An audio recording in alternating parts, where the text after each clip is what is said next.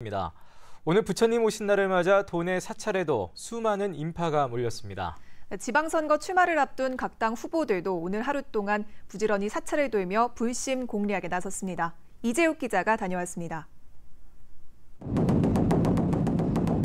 사찰 경내에 북소리가 울려 퍼지고 경건한 범종 소리와 함께 봉축 법요식이 시작됩니다. 형형색색의 연등이 물결을 이룬 사찰 마당에는 수천 명의 인파가 몰렸습니다.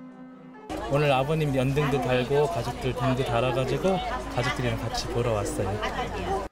지방선거를 앞둔 후보들도 너나 없이 앞다퉈 도내 사찰에 몰려들었습니다. 아침부터 저녁까지 쉴 새 없이 사찰에서 사찰로 옮겨 다녔고 어, 도지사 이시정하유 건강하시고 잘 좀 부탁합니다. 그래요. 감사합니다. 예, 감사합니다. 비록 자신의 종교는 아니지만 먼저 다가가 덕담을 건네며 충북의 일꾼임을 강조했습니다. 다 이루어지시기를 빌겠습니다. 예. 우리 저, 저 자유한국당 도지사 후보 2번 잘 기억해 주세요.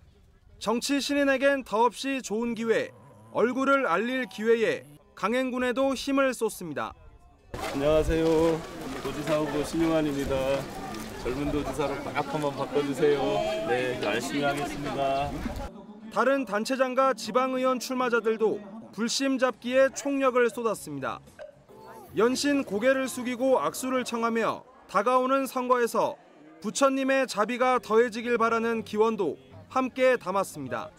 MBC 뉴스 이재욱입니다.